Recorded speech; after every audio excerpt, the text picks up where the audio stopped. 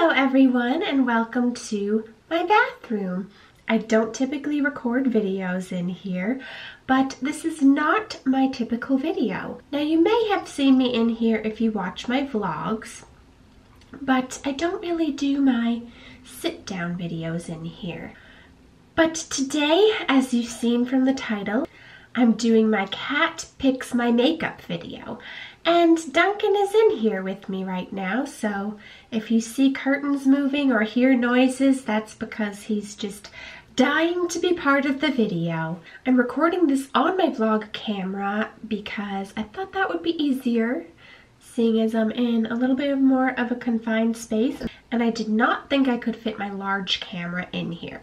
I recorded the portion with Duncan previously because it ended up taking forever for him to choose what makeup I should use. But he did, and I will put those in the video as we go through it. And so I'm going to be applying makeup for you today.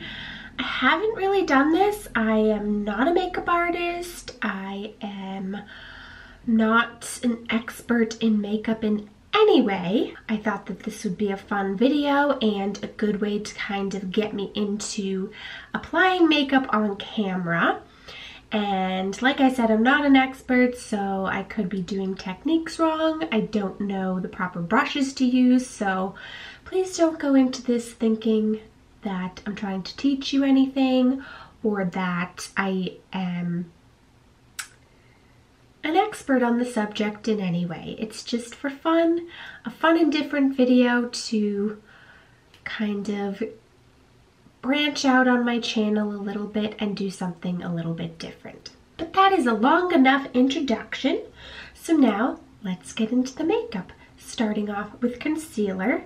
The choices were the First Aid Beauty Avocado Bendy Concealer and the Maybelline Instant Age Rewind Concealer. Which one do you like?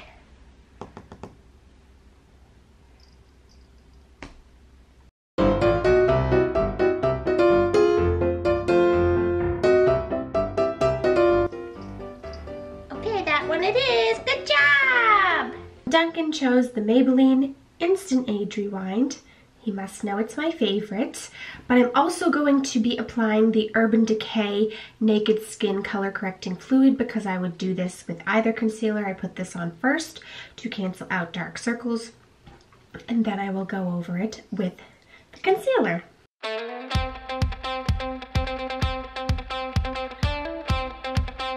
The one thing that's a little bit different about me doing it now than when I apply makeup in the morning is that I don't have any of my moisturizers on because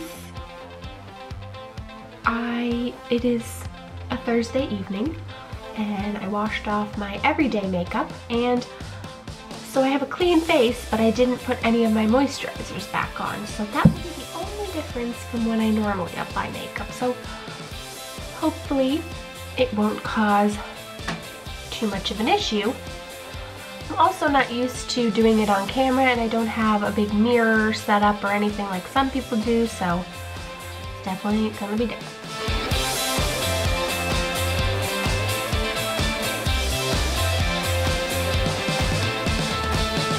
Then I just go in with my mini beauty blender. I apologize, none of them are super clean right now.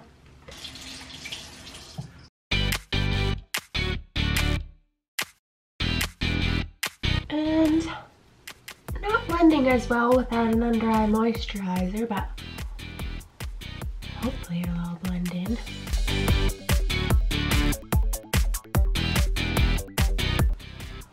I also don't do my application in the same order as a lot of people. A lot of people do their eyes first and then apply their foundation, which makes sense because if your eyes give you any fallout, then it will fall all over your foundation, which has happened to me. But I also tried it the opposite way and it really didn't work for me. So I just do what works for myself. It's taking longer to blend than usual. It's As good as we're gonna get. On camera, it doesn't even look like it did anything. So hopefully the foundation will work. So now for primer, he had a number of choices, which I hopefully tell you in the other clip. Good job! Good job, Duncan! He ended up choosing the Too Faced Hangover RX Primer. And I don't believe I've tried this one yet, so this will be a new experience. And it says it has coconut, ooh, way too much just came out, but it says it has coconut water probiotic based ingredients. Ow. Duncan's saying hello. You want to get out? Don't know how I feel about the smell of this one.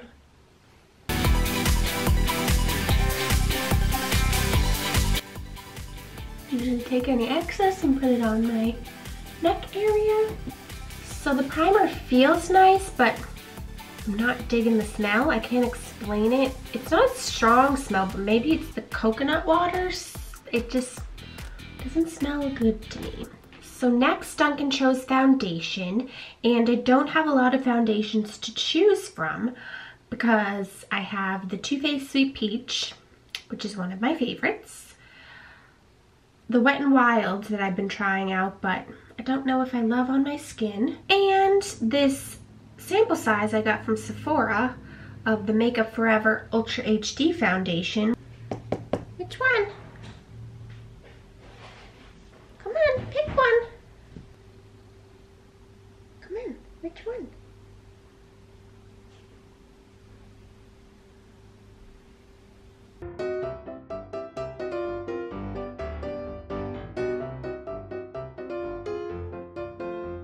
You like this one, this one, or this one?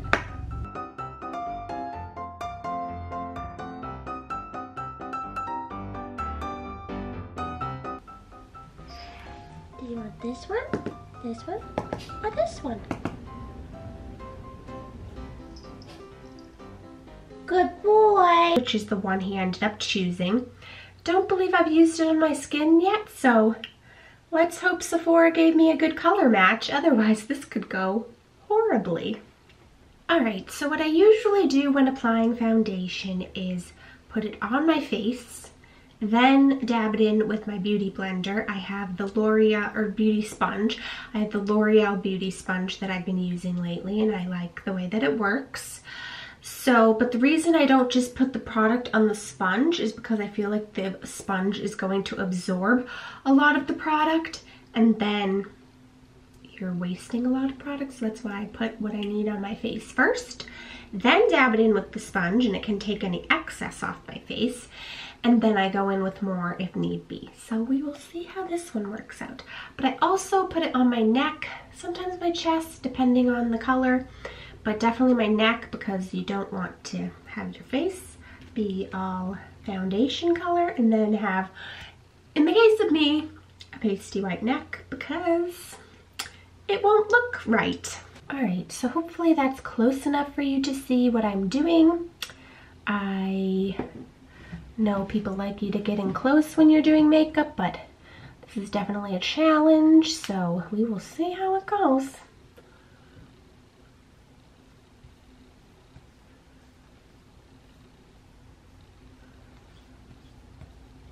I always get a little bit freaked out at first when I apply stuff because it's like, whoa, that is way different color than my skin.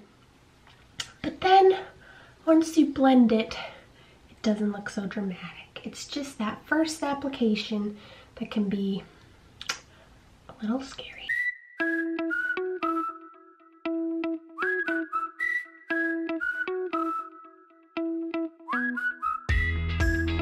Alright, so as far as I can tell in this lighting, that's blended on my neck, but I'm getting a lot of shadow from this angle. So we will see. Now for the base.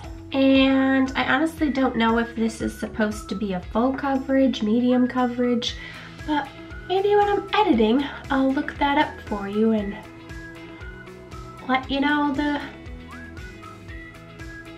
what Makeup Forever says as far as the coverage.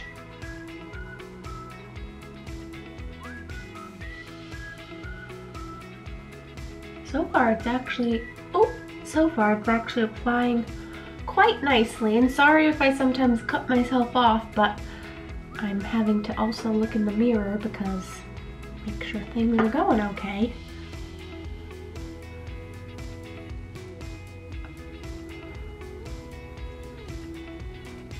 Can't forget to get those eyelids either because they have to match too. And now we blend and blend and blend.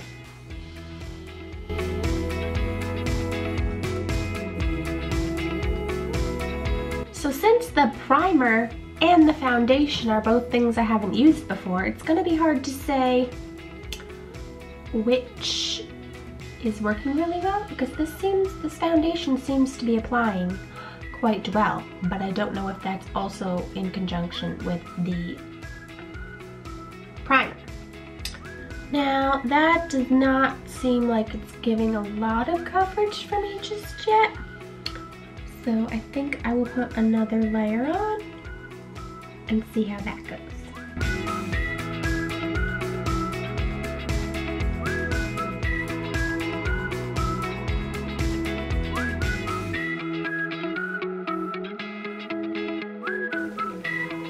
So far, I'm thinking this is not a full coverage.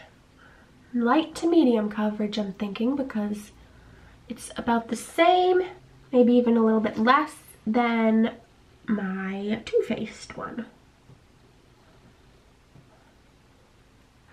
But it does blend in really nicely. It's looking awful here on camera, but it's looking not so bad in the mirror. So again, we'll see what happens with the finished product. After looking in the mirror closer up, I'm thinking the no moisturizer was probably not a good choice. But again, this is the first time that I'm doing this, so it's a little bit of an experiment. So I thank you for going on the journey with me. I think that's pretty well blended. So next up is brows, and I did not have Duncan choose any brow products because I only have two, one pencil and one gel. So there was nothing really for him to choose. So I have my trusty spoolie brush. The pencil I've been using lately is the Maybelline Total Temptation pencil and I have it in medium brown. And I really like it. It's a little bit of a wider pencil. Makes getting in there and applying things pretty quick and easy.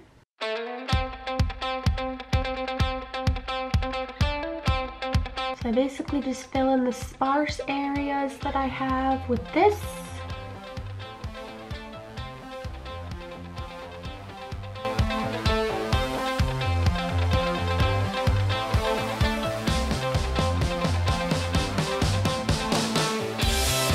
Then once I've kind of filled in the sparse areas, I go over it with my Wet n Wild Brow Mascara. I also find this really easy to use and it's quite affordable. And I'm not one for like super dramatic brows. I like them a little bit more on the natural side, so this works really well for me. Kind of makes them look a bit more groomed, but also nothing too dramatic. I have to say, doing this on camera is way more challenging. Because I have to make sure I'm getting it in camera and that I'm not making a horrible mess. So then I usually just go back over to kind of, with my spoolie to kind of smooth it all out. So now for the eyes, I gave Duncan a choice of the majority of my eyeshadow palettes and he took quite a long time to make a decision. The Huda Beauty Amethyst Disney designer from ColourPop. The original Urban Decay Naked. Too Faced Chocolate Bonbon. ColourPop and Zoella Brunch Date. And my newest, which is the Anastasia Riviera. Which one? Which one was it? This one I think you looked at first. Good boy. But he ended up choosing an oldie but a goodie. In fact, I think it was one of my first eyeshadow palettes that I ever got, and definitely my first high-end eyeshadow palette, or I'd say high-end. Some people might call it more middle of the road, but I would say it's high-end. And that's the original Urban Decay Naked. And they do not make this anymore, but you might be able to find it online somewhere. But they've also come out with the new Urban Decay Naked Reloaded, which is similar if you were looking for something like this. So it's basically a lot of neutrals. It's got some mattes and shimmers. And this is what Duncan chose, so we're gonna play around. I am going to use eyeshadow primer because with this one, it just goes on better and then they don't get as much fallout. And the one I use is again from Wet n Wild and it's their Photo Focus Eyeshadow Primer. It does the trick well, and again, it's affordable. So you can see it's just kind of like a nude color, kind of a cream formula. Pat that on my eyelids, make sure it's nice and smooth and blended.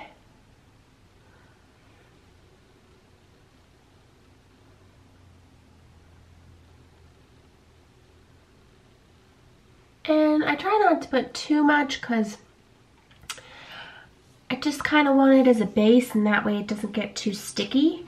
So now I gotta figure out what I want to do for the eyes. I do have fun playing around with the eyes because it's one place I get to be creative and try out new looks.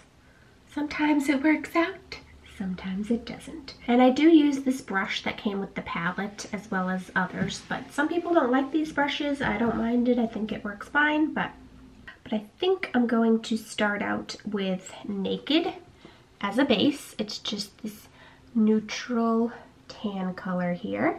And I typically tap off my brush to get off any excess that might be on there because I figure it's just gonna come off on my face anyway, so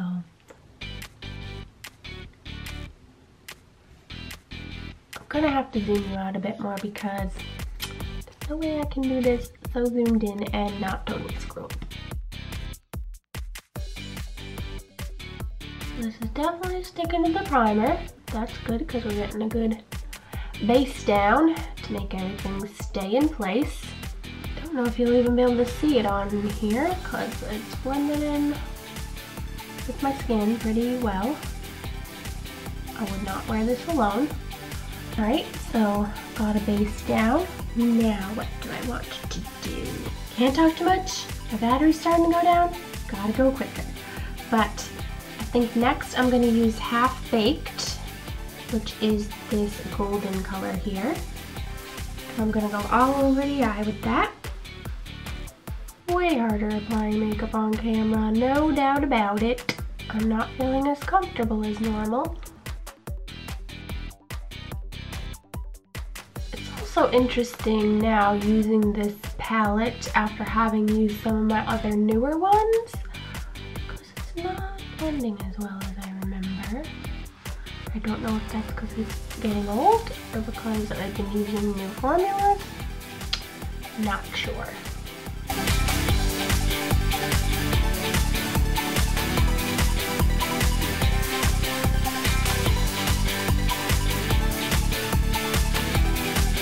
Gonna try to apply a little more of the gold, see how that goes.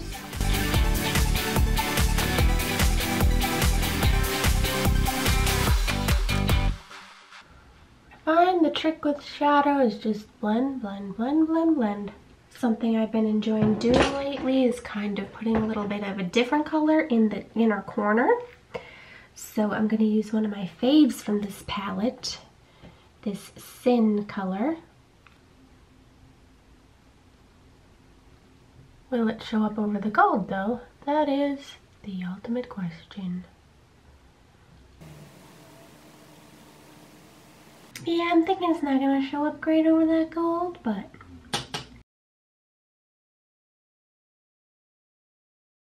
Don't know if that'll show up, but that's what the shadow's looking like. It's definitely a more neutral look. Next, we have highlights. Next up is highlights, and I only have two to choose from because just don't have a lot open right now. One is this City Color highlighter trio. So if he picks this, I could pick from any one of the three colors. And the other choice is the Zoella ColourPop Swipe Right highlighter.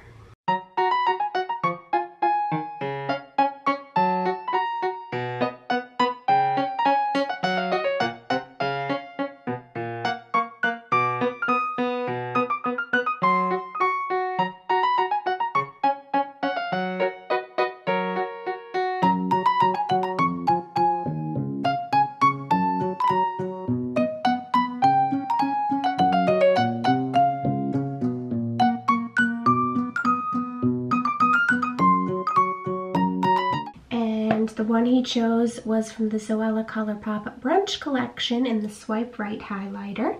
And to apply highlighter, I just used this fan brush from Real Techniques. It's got a pretty pink sparkly handle. And I do really enjoy this Zoella ColourPop Swipe Right line, uh, highlighter.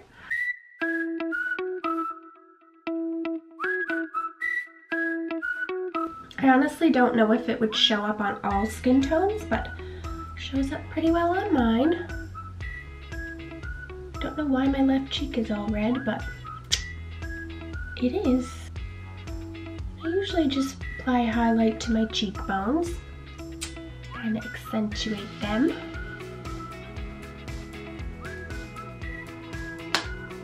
Hmm, I don't know what that redness is, but then for blush, he had a few blushes to choose from. The choices are the Sephora cream blush or cheek stain.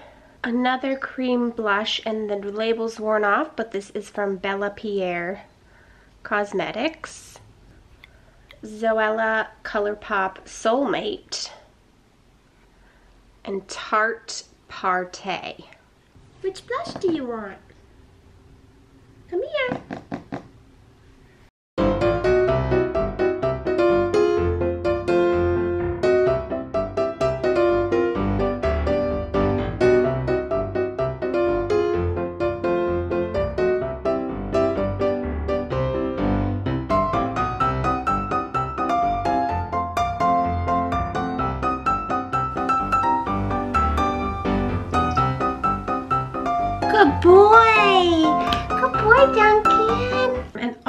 Went with the Zoella ColourPop collection and the blush from that. And I've also been really liking this blush and really like it as a combination with the highlighter. They pair really nicely together.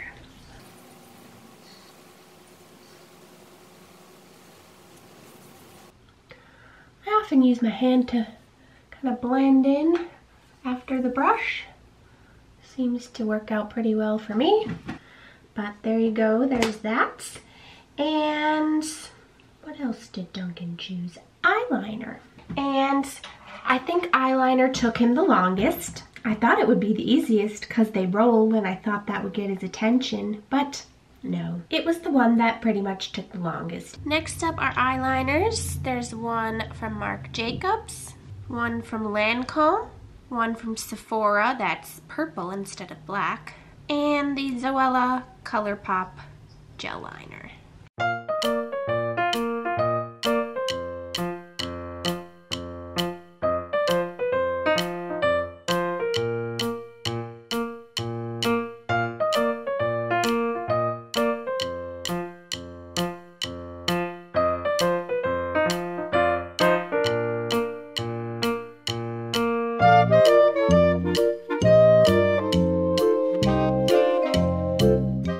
20 minutes later.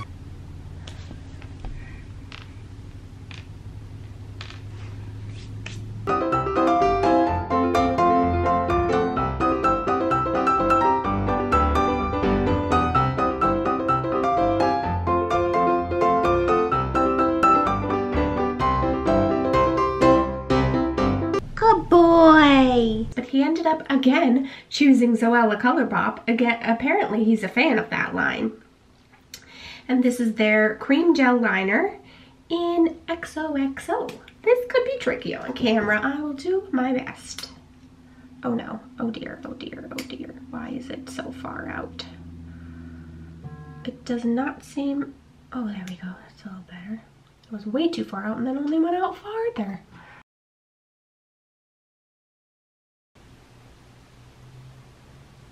It's pretty intense. More intense than I was expecting. You all know, I can't do top line, I mean uh, water line, uh, tight line. I can only do my water line here. And a little too heavy on the right eye. Well, from far away, hopefully it won't be that intense. Then I'm going in with mascara. Duncan did not pick one because I only really use one at a time. And I've been using the Maybelline Lash Sensational. And I wasn't sure how I felt about it at first, but I think it's one of those that you have to let it dry out a little bit first, and then I liked it better once it dried out a little bit. Has that curvy wand. And I did already have mascara on today, so my lashes are not in top form.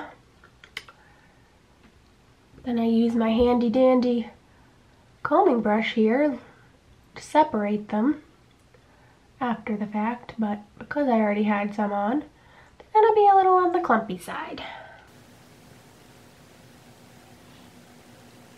Gonna do my bottom lash as well, which I don't do on an everyday basis because I get concerned about mess and getting black under my eyes.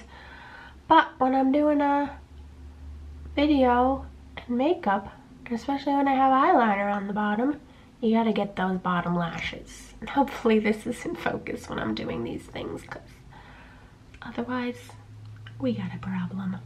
Now at this point I did things a little bit out of order and I had Duncan choose my makeup setting spray next and it was between the Urban Decay All Nighter and the Flower Beauty Seal the Deal Matte Finish. Duncan!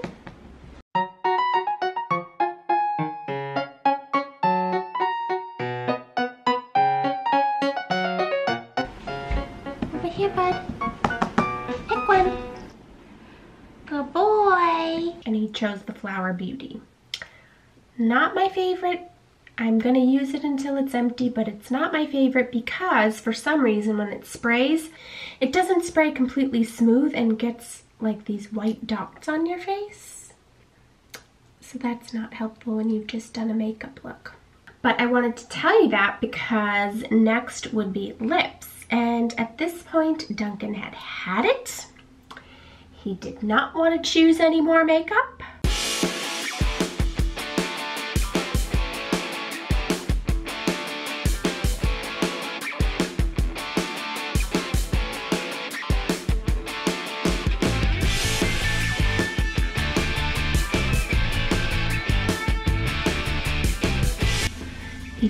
What do I know about lips? So I had to use my own lipstick.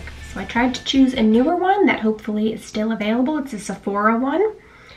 No, it's not a Sephora. It's a Bite Beauty one and it's in the color Rhubarb. I really like the other Bite Beauty lipstick that I have and I haven't tried this color out yet.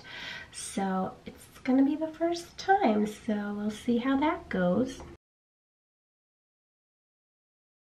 Ooh, darker on the lips than I expected.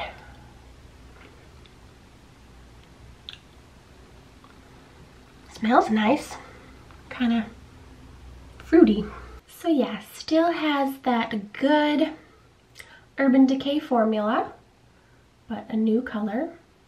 A little dark for this time of year, but wanted to try it out goes fine with the neutral looking eye, I think. Now, typically at this point, I would apply powder to set my under eyes.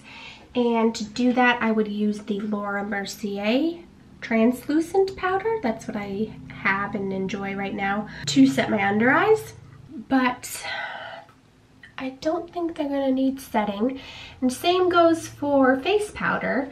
I typically go in with the IT Cosmetics Bye Bye Pores powder to set my makeup, but I'm already looking on the matte side and not shiny like I normally do, so I don't think that's necessary.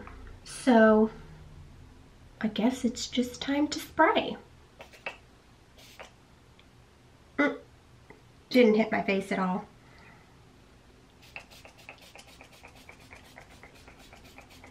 So this one is quite scented. And what it is about it, oh, I just inhaled it. Oh. And what it is about it is it's a nice, it seems like a nice fine mist, but unless you hold it up close to your face, it doesn't get on your face. And then when you hold it closer, you feel those big droplets go on. So I don't think I'll be getting it again once it's used up. All right, so here is the finished look. This is what Duncan picked out for my makeup. I think he did a good job and it was a good balance. It wasn't anything wild or crazy. So if you would like to see more videos like this, then definitely let me know by giving it a thumbs up. Leave me a comment. I had a lot of fun doing it, a lot more than I expected. Well, it's definitely a challenge and I'll have some learning and figuring out to do for future videos. It's always a growing process and I definitely had more fun doing it than I thought I would. I would love to do it again if you'd be interested. So let me know if you'd like to see more videos like this where I do my makeup on camera. I would love your feedback. So this is what it's looking like in a little bit different lighting. Maybe this looks a little bit different than upstairs? Don't know. But thank you for watching and bearing with me as I try out something new. I really appreciate it. And I will see you very soon in another video. Bye!